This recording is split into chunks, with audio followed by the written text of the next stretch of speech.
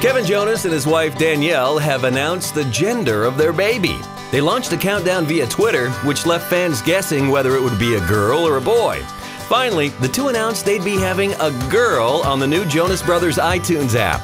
The sonogram was later posted to Instagram, where Kevin captioned it, It's a girl. Thank you, everyone. She's sucking her thumb.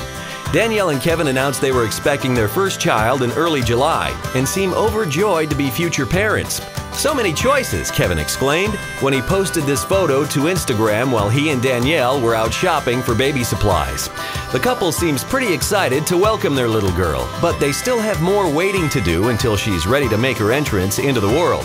It's been a great summer for Danielle and Kevin, and we can't wait to see their show, Married to Jonas, welcome a new little cast member soon.